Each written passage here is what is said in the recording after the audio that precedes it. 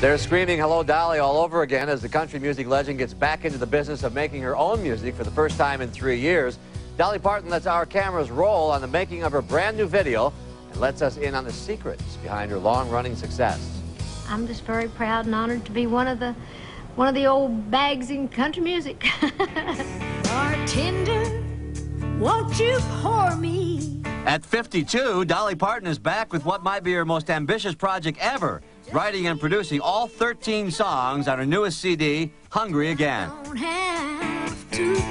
Access traveled to Nashville for this exclusive behind-the-scenes look at the music video for the album's first single, Honky Tonk Songs.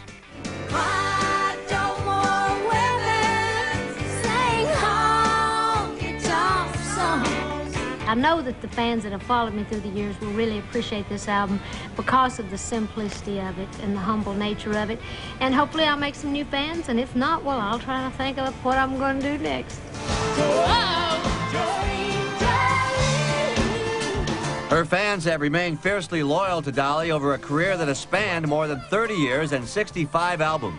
But with disappointing sales of her last few albums, Parton recently hinted that if Hungry Again isn't a success, she might give up recording for good.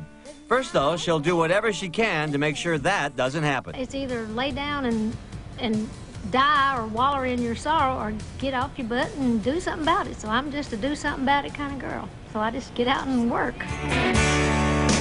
Works for me.